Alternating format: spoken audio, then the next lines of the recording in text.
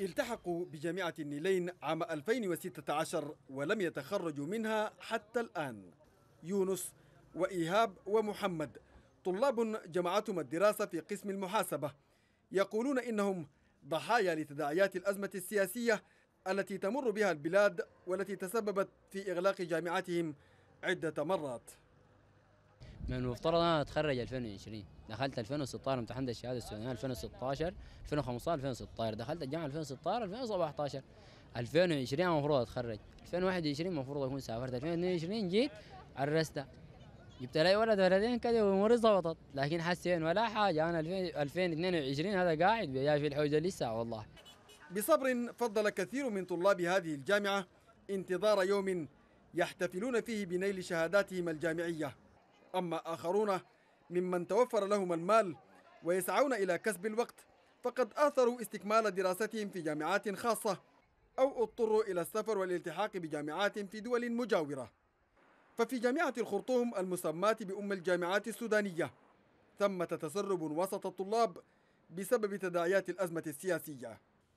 مديرة الجامعة التي تشتكي من ضعف رواتب أساتذتها وهجرتهم إلى خارج البلاد ترى أن حل مشكلات التعليم يكمن في إحداث التغيير. الطلاب الآن هم يشاركون في ما يجري للتغيير الذي يجب أن يحدث فهم جزء منهم. فعليهم النضال وعليهم أن يقفوا هذه الوقفة حتى تتحسن الأحوال. هي دعوة يرى خبراء أكاديميون أنها لا تصب في مصلحة التعليم العالي. الذي تأثر بما يسمونه بتسييس إدارات الجامعات. هم يدعون أيضا إلى ضرورة استقلال الجامعات.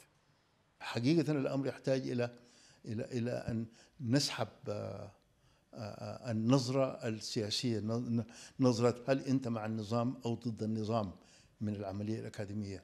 آه، ما بيفرق في السابق ما بيفرق.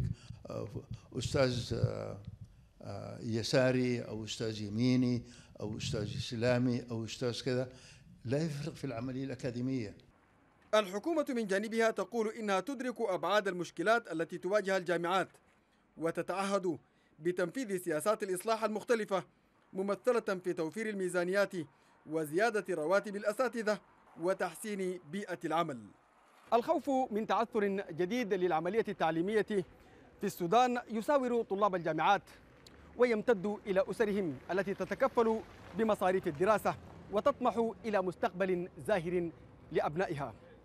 طموح مشروع لكنه يبدو مرهونا إلى حد ما بإنهاء الأزمة السياسية في البلاد وتحقيق الاستقرار. عبد الباقي العوض الحرة الخرطوم.